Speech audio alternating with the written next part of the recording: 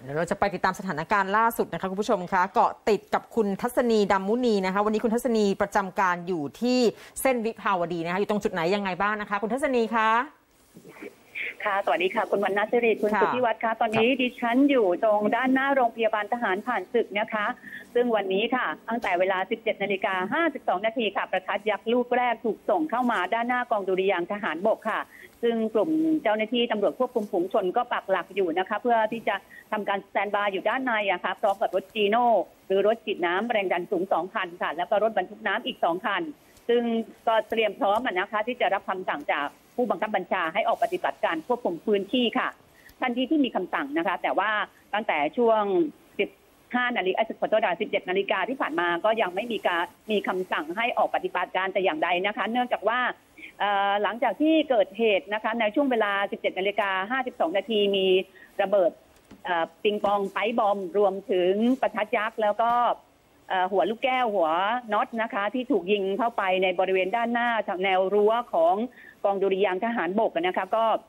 เจ้าหน้าที่ก็ได้ใช้เครื่องขยายเสียงค่ะ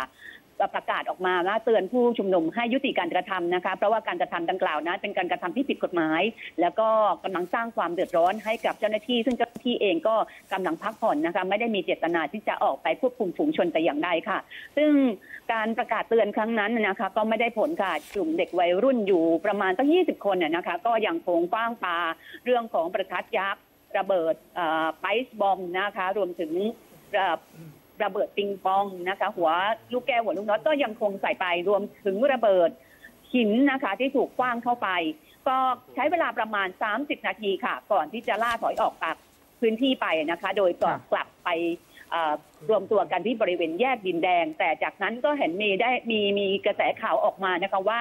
ทางด้านของกลุ่มวัยรุ่นเนี่ยนะทั้งหมดอะนะคะ ได้ครับเคลื่อนตัวไปยังอนุสาวรีย์ชัยสมรภูมิเพื่อจะไปรวมตัวปักหลักกันที่นั่นน่ยนะคะ แต่จะเคลื่อนไหวอย่างไรหรือไม่อันนี้ดิฉันยังไม่ทราบจริง ๆ ค่ะ ทางด้านของพันตำรวจเอกกฤษณะพัฒนาเจริญรองโฆษกสำนักงานตำรวจแห่งชาติก็ระบุว่านะคะระเบิดปิงปองลูกแรกและไปบอมลูกแรกที่ถูกคว้างเข้ามาใส่เจ้าหน้าที่ควบคุมฝูงชนที่ปักหลักจุดจุดพักคอย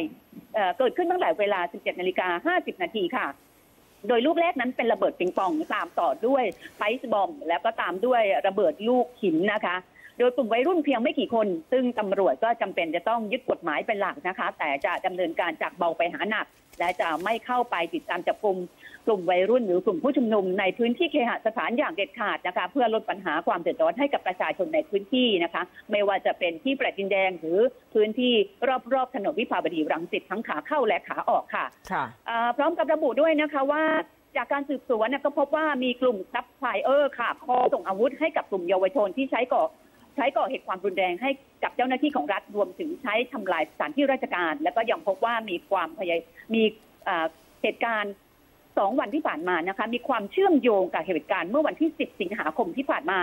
ซึ่งมีการชุมนุมกันที่บริเวณแยกดินแดง แล้วก็มีเยาวชนมือขาดจากการจุดระเบิดในวันดังกล่าวด้วยนะคะ โดยระเบิดนะคะ ที่ถูกส่งเข้ามานั้น มีการใช้ rider man หรือ food rider หรือพนักงานส่งอาหารแฝงตัวเข้ามาในกลุ่มกลุ่มผู้ชุมนุม จากนั้นก็ได้นำอาวุธนับซึ่งเป็นระเบิดเป็นหลักนะคะ ส่งให้กับเยาวชนใช้ก่อเหตุนะคะ กับเจ้าหน้าที่นะคะ ซึ่งขณะนี้เจ้าหน้าที่อยู่ระหว่างการสืบสวนเพื่อที่จะติดตามจับกลุ่มตัวต้นต่อตัวผู้บงการตัวใหญ่นะคะ มาดำเนินคดีตามกฎหมาย ซึ่งหากจับกลุ่มได้ก็จะถูก หลายดำเนินคดีในหลายข้อหาด้วยกันทั้งสนับสนุนแล้วก็สั่งการค่ะ ค่ะค่ะครับคุณทัศนีคะขณะที่เจ้าหน้าคุณทัศนีคะค่ะที่ฉันดูจากภาพสดตอนนี้เนี่ยนะคะเหมือนกับว่าการจราจรเนี่ยคือตำรวจเขาปล่อยให้สามารถที่จะรถผ่านมาได้อย่างสบายๆเลยเหรอคะไม่มีการปิดกั้นเส้นทางไหนเลยเหรอคะ หลังจาก 17 นาฬิกา 40 นาทีขึ้นมานะคะ อย่างที่บอกว่าการประทะกันน่ะการประทะการกลุ่มเด็กนะคะ ได้คว้างปาระเบิดอ่าเหล่านั้นนะคะเข้ามาที่ด้านหน้าแนวรั้วของกองดุริยางค์ทหารบกประมาณค่ะ30 นาทีค่ะ หลังจากนั้นเหตุการณ์สงบลงหลังจากเด็กๆเนี่ยล่าถอยออกไปนะคะ ไปรวมตัวกันที่แยกดินแดง ถนนพื้นที่ตรงนี้ก็ยังคงปล่อยให้มีการจราจรอืมตามปกติค่ะ ซึ่งตั้งแต่ อ่า16นาฬิกา30 นาทีมานะคะ ก็เหตุการณ์สงบค่ะ ทุกอย่างก็อย่างที่เห็นค่ะ ภาพการจราจรก็ปกติดีทุกอย่างค่ะ ค่ะอืมค่ะครับเอ๊ะคุณทัศนีคะถ้าถ้าเราสังเกตประเมินด้วยสายตาเนี่ยนะคะการ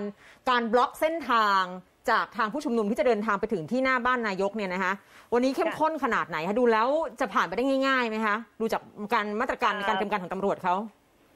วันนี้ไม่มีการบล็อกเส้นทางนะคะค่ะยังคงเปิดให้กับเจ้าหน้าที่เอ่อให้ประชาชนใช้สัญจรได้ตามปกติไม่หมายถึงหมายถึงก็การการบล็อกไม่ให้ทางกลุ่มผู้ชุมนุมอะค่ะเดินไปที่หน้าบ้านพักของนายกอะค่ะ เอาเครื่องกีดขวางมาค่ะยังไม่มีการบล็อกนะคะ จากบนอืมอ่าจากในถนนวิภาวดีรังสิตขาขาขาออกเนี่ยนะคะค่ะบอกได้เลยว่าเอ่อไม่มีการบล็อกค่ะแต่ถามว่า มีการตั้งตู้คอนเทนเนอร์ขวางกั้นการจราจรหรือไม่ มีบริเวณด้านหน้าของกรมทหารราบที่หนึ่งนะคะ ซึ่งจุดครับนั้นน่ะไปตั้งมาตั้งแต่มีการชุมนุมนะคะ ทางการเมืองอืมเกิดขึ้น ซึ่งบนจะตั้งอยู่บนถนนเอ่อคู่ขนานเท่านั้นนะคะค่ะส่วนตรงเส้นเส้นในเนี่ยก็ยังคงเปิดการจราจรปกติอ่าและการกั้นเนี่ยก็เป็นการกั้นแค่ระยะสั้นนะคะ จากอ่าบริเวณแนวของ รูแนวรั้วนะคะ เริ่มต้นที่ถนนวิภาวดีรังสิตเดินแนวรั้วเนี่ยจะเกิดขึ้นตั้งแต่บริเวณอ่ากองพันทหารราบที่หนึ่งต่อเนื่องไปถึงปั๊มน้ำมันปตทเท่านั้นนะคะค่ะส่วนค่ะอืมอ่าพื้นที่ยังเปิดปกติค่ะ แต่ครับอย่างไรก็ตามค่ะ ถึงแม้ว่าเจ้าหน้าที่จะไม่มีการบล็อกพื้นที่นะคะอ่าแต่วันนี้กำลังควบคุมฝูงชนกันคงสแตนบายเตรียมพร้อมนะคะ รับมือกับการ เกิดเหตุไม่คาดฝันเกิดขึ้นตลอดเวลานะคะ โดยหนึ่งกองร้อยค่ะ ยังคงปักหลักประจำอยู่ที่ด้านหน้าโรงพยาบาลทหารผ่านศึกค่ะ แล้วก็มีครับกำกำแบ่งกำลังเป็นสองหมวดใกล้สองหมวดย่อยนะคะสองหมวดย่อยที่เป็นตำรวจตระเวนชายแดนหรือตชดนะคะ จะมาจำอยู่ด้านบนถนนขอโทษนะบนสะพานลอยนะข้ามแยกระหว่างถนนวิภาวดีรังสิตขาเข้าและขาออกนะคะ แล้วก็ส่วนอีกสามกองร้อยค่ะยังคงปักหลัก พร้อมรถจีโน่อยู่ภายในกองดุริยางค์ทหารบกนะคะ ค่ะ ส่วนอืมอ่ากำลังชุดเคลื่อนที่เร็วนะคะ ตอนนี้เราไม่ทราบจริง ๆ ค่ะว่าอยู่จุดไหนวันนี้มีการอ่าเจ้าหน้าที่บอกว่ารถเคลื่อนที่เร็วจะไม่มีการออกมา ให้สื่อมวลชนหรือผู้ชุมนุมเห็นอย่างเด็ดขาด จะออกบัตรปฏิบัติงานปฏิบัติงานอีกทีก็ต่อเมื่อ ได้รับคำสั่งจากผู้บังคับบัญชาเท่านั้นแต่จะออกมาจากจุดไหนนั้น ไม่สามารถบอกได้ค่ะค่ะครับค่ะเอาละครับ เดี๋ยวถ้าทันทีที่มีความเคลื่อนไหวของเหตุการณ์เดี๋ยวติดต่อกลับคุณทัศนีอีกครั้งหนึ่งนะครับ